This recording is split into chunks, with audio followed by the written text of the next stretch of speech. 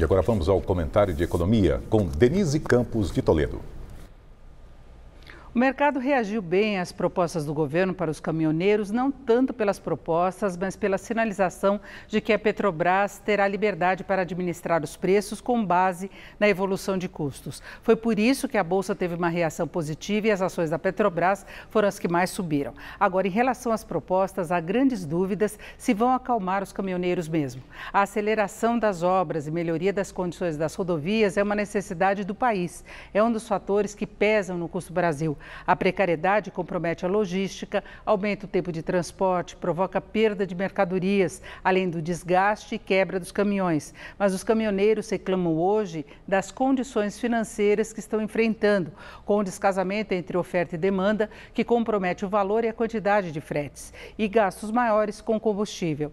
Estradas melhores não vão interferir muito nesse aspecto. Por outro lado, a liberação de até 30 mil de financiamento com condições de mercado pode não ter muita procura. Os caminhoneiros estão ganhando pouco e teriam de se endividar mais para poder fazer a manutenção, como o governo propõe, sendo que muitos não estão conseguindo sequer bancar os financiamentos que assumiram para a compra dos caminhões. Os financiamentos teriam de ter condições mais favoráveis do que as de mercado para poder fazer diferença e possivelmente com limites acima dos 30 mil.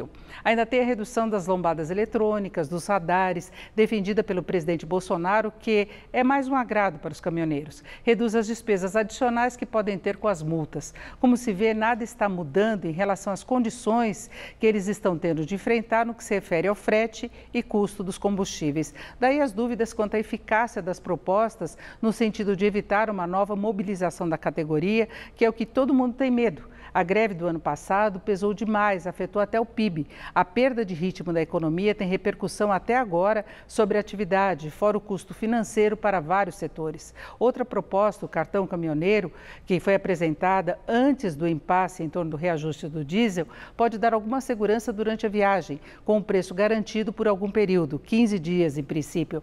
Mas qual vai ser o preço de referência em fretes mais longos, já que o ICMS muda de um estado para o outro? Agora é aguardar o posicionamento dos caminhoneiros e conferir se a Petrobras vai ter mesmo liberdade na política de preços. Muitos defendem que a Petrobras fique com as perdas, mas isso pode ter repercussão para além da estatal pela queda dos investimentos, comprometimento do retorno para os acionistas, inclusive o governo, e a perda de credibilidade do país como polo de atração de investimentos. Isso pela incerteza quanto à manutenção das regras. Uma boa noite.